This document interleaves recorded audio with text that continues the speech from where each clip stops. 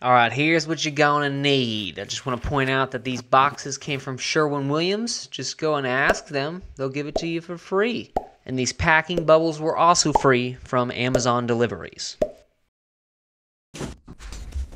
Okay, so first we're gonna wrap and protect our paintings with a paper slip. Oh, this just involves wrapping the canvas with paper. Easy enough.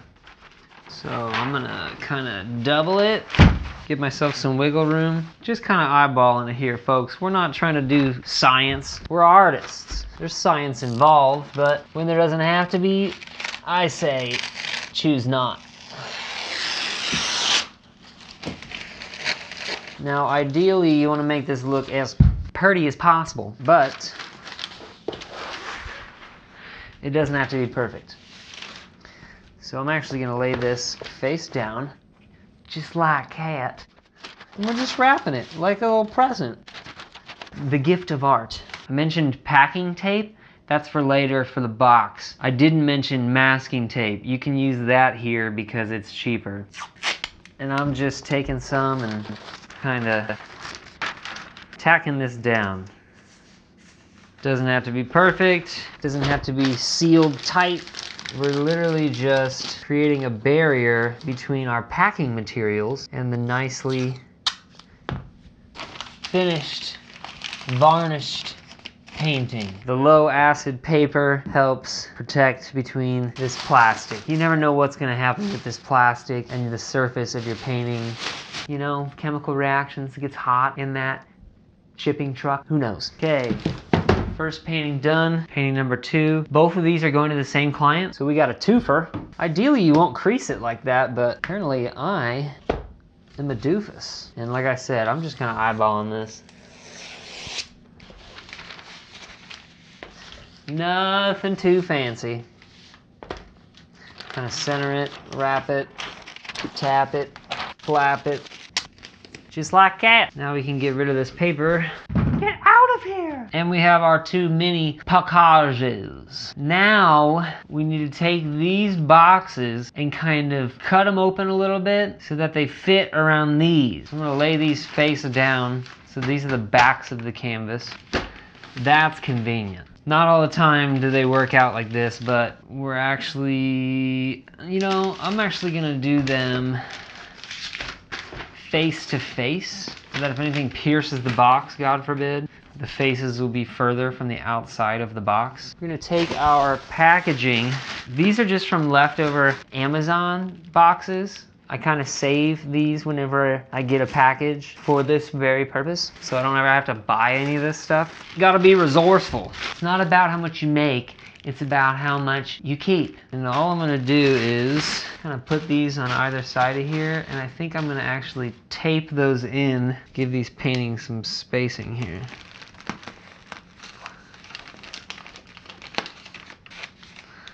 Yeah, kind of like that. Gotta get creative, folks. There's no rules. Gotta use your best judgment and decide what feels safe for your darling artwork. You don't want it to get ruined in shipping. Can't always trust those characters out there. God bless the mailman, you know, but at the same time, they don't care about this stuff as much as we do. Okay, so there's kind of like our, our mini package. Oh God, don't do that. Okay. Um, it won't matter because we're gonna kind of cinch these boxes around our package. You kind of get it? So I'm gonna basically just open up this box.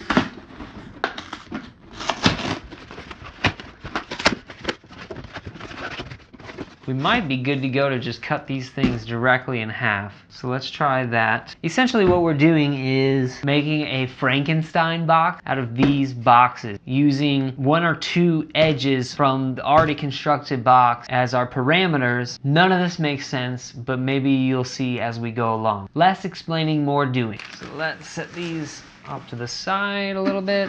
Usually you want like a ruler or something to measure this out, but I'm just gonna eyeball it. And you know, if I make a mistake, that's on me. You can measure. Hey, we're not backed by OSHA here. Don't do what I do. You know what I'm saying? Don't do this at home. This is a how-to video, but Always cut toward yourself. Just kidding. Don't do what I just did. I'm, I'm a horrible role model. Okay, so now we have this box. It's kind of just open like this. And like I said, we're creating a corner as our foundation of the box. So we're just gonna take this and base our parameters around this corner. And eventually we'll just like fold the whole damn thing over top of itself. We're gonna use both boxes. I'm gonna need another fucking box. Shit. I'm gonna need to just figure this out. So we're probably just gonna kind of time lapse the rest.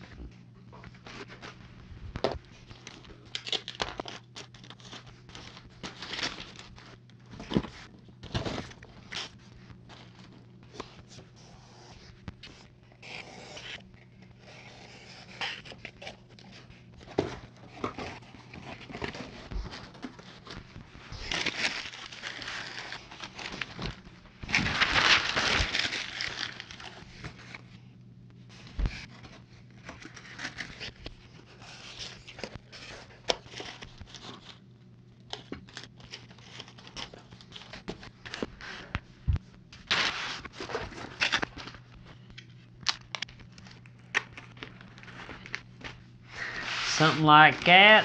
Take our other box, break it down too.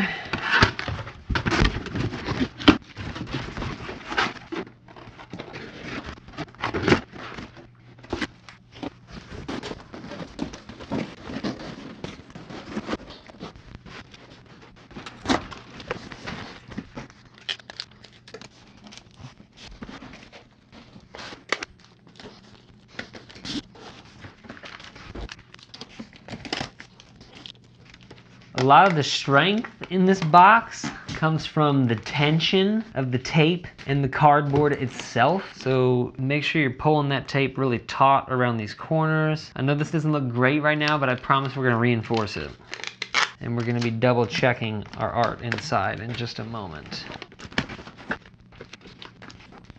Okay, so before we put this the cap on, we're gonna build a cap out of the rest of the boxes. We're going to reinforce the inside with more packing bubbles. And this is where it's really great to have actually bubble wrap, thinner stuff, because these big packing bubbles are, uh, you know, a little thicker. So it's easier to slide bubble wrap in between here, and I think I have some. Okay, I actually have some packing peanuts.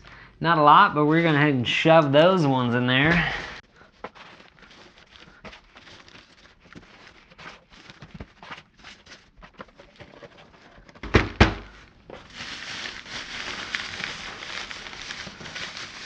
Just to kind of space out our shit.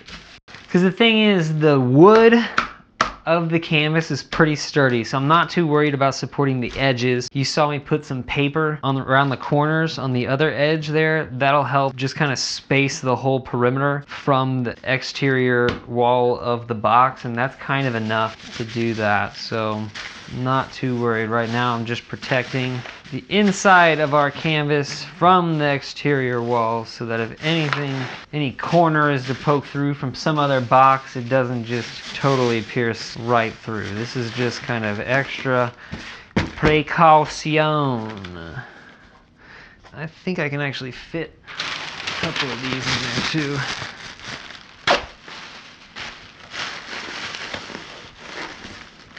That's perfect. Maybe I'll put a couple of these in there. Some kind of perfect. Some kind of perfect. Get our corner guards.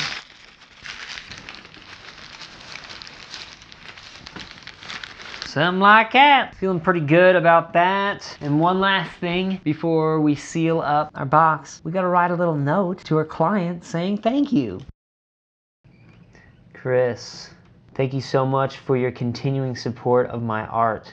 You are the fucking man. Love, Alex. Throw some dope stickers in there. All right, we're ready to seal this bitch up.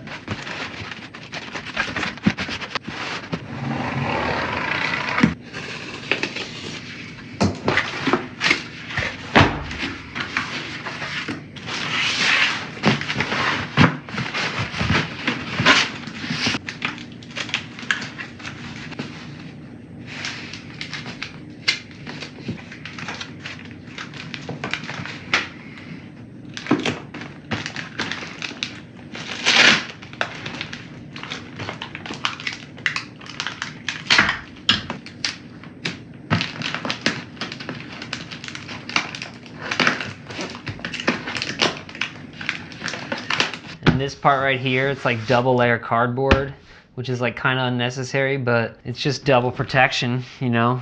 Makes the box a little thicker and makes it uglier, but rather than cut it away, I'm just leaving it on there to be a double layer. Tape that bitch up. It's a little bit more rigid. I feel like that's probably good enough. I think that's all my openings. It literally doesn't have to be perfect. It's more important that it is protected and secure, then it looks pretty. Obviously you don't want your client thinking you're trash, so it has to look decent but like no one's ever complained about my packaging and I do it like this every single time. And I've also never had anything damaged with this boxing method and it's literally free packaging other than the tape, which technically that was free too because I stole it from my girlfriend. Ha ha ha! Mooch City, baby! And you know, maybe you're thinking by the time I go through a half a damn roll of packing tape, I might as well have just paid FedEx to box it up professionally for me. And you know, you can do that. That is an option for you, but this is how I do it. Um, one thing to note is if you're gonna use any boxes that are recycled, just make sure it doesn't have anything on the outside that is conflicting. Like if it contains toxic things, it has one of those symbols on it. Um, you don't want to use that. So like if you spray paint and you want to ship something out, something smaller in a spray paint box, you got to cover that up and don't let them even see it because they can't see it. Otherwise, they can't ship it for you. It's like a legal issue. Um, so I give this like a C. This isn't the best box, mostly because of this corner. It's kind of fucked up there. And there's like a bulge you can kind of see. And usually I like to give it enough width to where it's flat, but like it still stands on almost every side except for maybe that one.